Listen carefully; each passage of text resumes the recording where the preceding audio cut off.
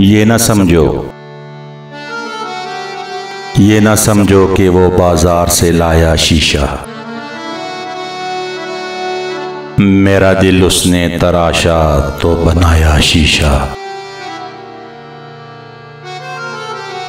मेरे चेहरे पे खराशे हैं तो हैरत कैसी?